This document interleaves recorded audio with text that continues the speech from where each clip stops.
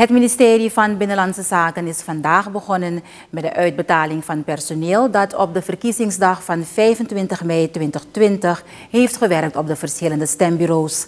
Ook de colporteurs en vouwers van de stembiljetten worden na ruim zes maanden betaald voor hun geleverde diensten.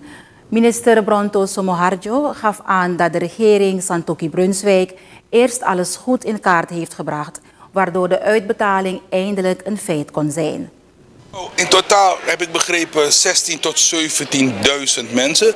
Maar betreffende de vouwers is het rond de 300, 400 vouwers die vandaag in ontvangst gaan nemen. Die zijn cash, uh, die worden cash uitbetaald. Het overige personeel, de colporteurs, uh, de mensen die bij de stembureaus waren, die worden via de districtscommissariaten uitbetaald. Dat is vanwege de coronapandemie. We kunnen ons niet permitteren dat we straks hier duizenden mensen op het erf hebben. Nu is het nog gecontroleerd. Gecontroleerd dankzij medewerking van de politie gecontroleerd dankzij onze eigen veiligheid. Dus daar ben ik heel erg blij om. Het gaat ordelijk, eh, de mensen zijn blij en dat doet mij goed natuurlijk.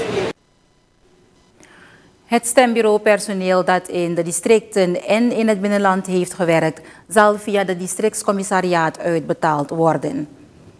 De uitbetaling uh, is vandaag, vrijdag en zaterdag.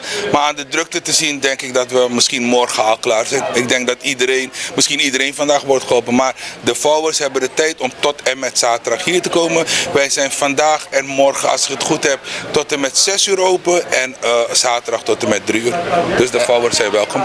En met betrekking tot de districten, dat uh, gebeurt in de loop van... Ja, dus het overige personeel, die wordt via de uitbetaald. Het gaat dan als volgt. Wij uh, storten het geld op uh, de rekening van de, uh, van de commissariaten en hun gaan het weer verder verspreiden. En het overmaken van het geld naar de commissariaat toe geschiet op 14 december. En dan moet de uitbetaling vlot gaan, want dan hebben wij al overgemaakt.